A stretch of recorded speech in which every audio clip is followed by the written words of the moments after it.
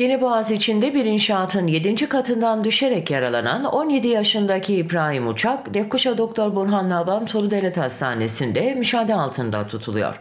Dün sabah Yeni Boğaz içinde Erbatu İnşaat Şirketi'ne ait olup yapımı devam etmekte olan inşaatın 7. katında çalışan amcasının yanında bulunan 17 yaşındaki İbrahim Uçak dengesini kaybetmesi sonucu yaklaşık 19 metre yükseklikten atık su borularının bulunduğu çukura düşerek yaralanmış ve olayın ardından Doktor Burhan Nalvan Tolu Devlet Hastanesi yoğun bakım servisinde müşahede altına alınmıştı.